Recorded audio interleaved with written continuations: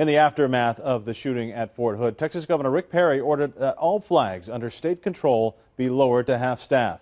KEYE TV's Lydia Pantazis was there today as the governor and other state leaders met with wounded soldiers and their families. During the press conference, Governor Perry talked about how he visited some of the victims of the Fort Hood shooting.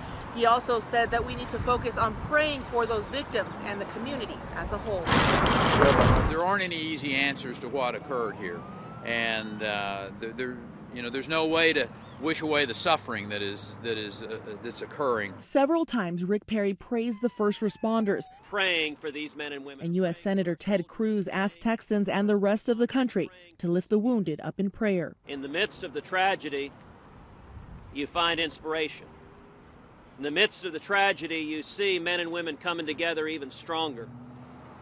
You see stories of bravery and courage. But neither lawmaker would address security on U.S. military bases. It's a good question. It's a question that should be looked into. On several occasions, reporters asking about policies that restrict personnel from carrying guns on the base. At this point today, we need to be focusing on the victims, praying for their recovery, and, and helping this community come back together. There will be plenty of time to have discussions about the public policy issues going forward. Now's not the time to be talking about policy and uh, there's plenty of time to do that. Right now, we need to be focused on these men and women, the wounded, the families that lost loved ones. The press conference ended with Governor Perry asking people to thank a veteran and urging employers to hire them. Look to those veterans and to look to those individuals who have served us selflessly to fill those jobs that hopefully will continue to grow across this country. Thank you all for being with us. Governor Perry also mentioned the last shooting here at Fort Hood,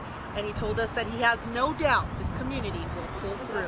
Reporting at Fort Hood, I'm Lydia Pantazis, KEYE TV News.